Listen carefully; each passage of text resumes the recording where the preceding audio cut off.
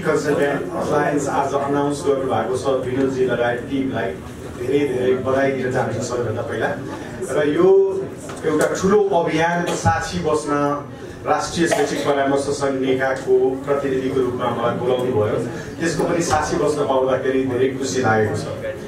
अब विषयवस्तुहरू यति गहन र यति ठुला विषयवस्तु उठेको छ जो राष्ट्रिय र अन्तर्राष्ट्रिय मुद्दाहरू पनि छ त्यसमा धेरै कुरा भन्न सुन्न सुनाउन पनि मन थियो। तर यो समयको पाबन्दीले गर्दा धेरै कुरा भन्न सकिएन। सामान्य हिसाबमा विदेश जाने विद्यार्थी जाँदै गर्छन्। तर विदेशबाट विद्यार्थी ल्याउने अभियान सुरु गरौँ। यो गयो भनेर रोइलो गर्नुको कुनै काम छैन कुनै अर्थ छैन। हामीले गर्न सक्ने भनेको चाहिँ ल्याउन सक्छौँ। त्यसका लागि सरकारले केही नीति नियम वातावरण बनाइदियोस् र त्यसको लागि यो प्रयास यो अभियान हाम्रा कन्सल्टेन्टहरूले विगतमा नगरेका होइनन्।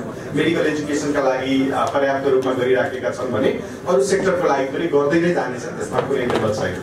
तर आज जुन जुन जस्ता जस्ता विषयवस्तुहरू उठेर त्यसमा नेपाली कन्सल्टेन्टहरूलाई विभिन्न हिसाबले दाज लगाउने कामहरू पनि भएको छ। केही सीमित र निहित स्वार्थका लागि लागेकाहरूले गर्दाखेरि जहाँ पनि बदनामी हुन्छ त्यो सबैको भारी हामी सबैले बोक्नुपर्छ भन्ने छैन।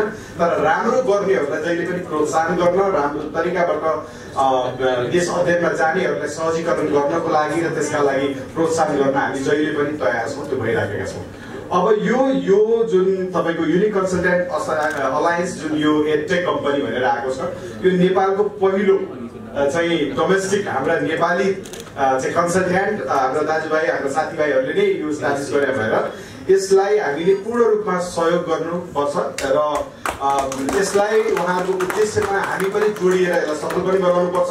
र जस्तो विनोदजीले भन्नुभयो उहाँहरूको जस्तो कमिटमेन्ट छ कि विभिन्न खालका इन्सुरेन्स सम्बन्धी कुरामा ट्युसन फी रिफन्ड गर्ने सम्बन्धी कुरामा चाहिँ जुन किसिमको अस्योरेन्स लिने र भोलिका प्यारेन्ट्सहरूलाई चाहिँ जुन किसिमको एउटा चाहिँ एम्बिग्युटीको सिचुएसनहरू हुनसक्छ त्यो नहुन दिने जुन प्रयत्नमा लाग्नु भएको छ यो एकदमै यो नोबल कजको लागि यो प्रयत्नको लागि हाम्रो तर्फबाट नेकाको तर्फबाट के कस्ता सहयोग भोलिका दिनमा गर्नुपर्छ त्यो गर्न पनि हामी सदैव तत्पर छौँ तयार छौँ भन्दै तपाईँहरूको यो कार्यक्रमको आजको सफलताको शुभकामना साथसाथै तपाईँहरूको यो अलायन्सले पनि भोलि भोलिका भविष्यमा गर्न लायक भन्न लायक र सुनिन लायकका कामहरू गर्दै जाओस् भन्ने शुभकामना व्यक्त गर्दै म यहाँबाट बिदा पनि हुन चाहन्छु। धन्यवाद नमस्कार।